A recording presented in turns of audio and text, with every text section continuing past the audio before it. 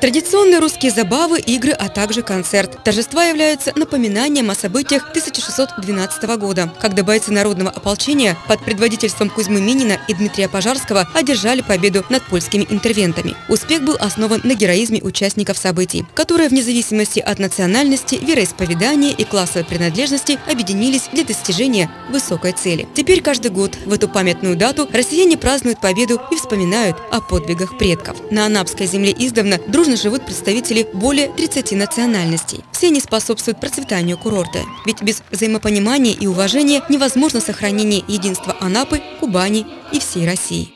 Единство – это народ. Если не единство, то война была бы везде. Все мы вместе, все национальности вместе. Очень хорошо все. Очень радует, что у вас э, поддерживается именно народное творчество. Дети не забывают этого. Очень приятно и очень волнительно, конечно, на все это смотреть. Мелодичную песню «Казачат» сменил зажигательный армянский танец. Южную публику покорили греческие, грузинские танцы и напевы. Своеобразной изюминкой фестиваля стал флешмоб под названием «Растворись в многообразии культур». Его организацию взял на себя Совет молодых депутатов Анапы. Творческим коллективам и зрителям представилась возможность выучить танец каждого народа, проживающего на Кубани.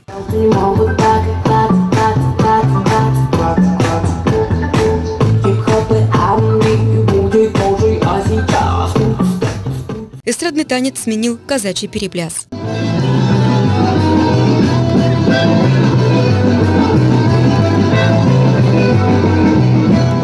Кульминацией праздника стало поднятие в небо государственного флага, созданного из воздушных шаров. Яркое свидетельство того, что мы все едины под небом России. Светлана Авилова, Александр Криневский, Анапа регион.